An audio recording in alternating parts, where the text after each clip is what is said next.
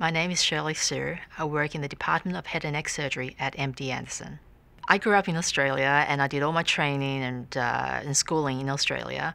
Growing up, I was very much interested in science, but also in visual arts. And for me, that was the best way um, through surgery to combine both of those. So I did my undergraduate and medical school at Monash University in Melbourne, Australia.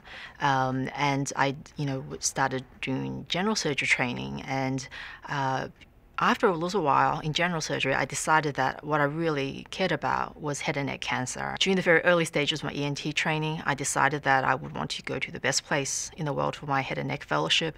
And after a lot of research, I decided that I wanted to come to MD Anderson.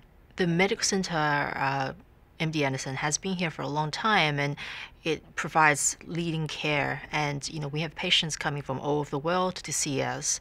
And what's really wonderful about um, the Houston area locations is that we're actually able to bring that care to our local communities. When I'm not at work, I try to spend as much time as I can with my uh, with my family. I have a young child, and uh, she I really love watching her going through her development phases. I think the uh, things that make MD Anderson great and really differentiates apart is first of all our multidisciplinary care, um, especially for the really complicated tumors. For example, in skull-base surgery, uh, we're one of the few places where we have uh, world-class uh, radiation and medical oncology. Uh, we have open and endoscopic skull-base surgeons, so we can do both. In addition to that, we have um, very talented and uh, skilled plastic surgeons who can reconstruct right there and then.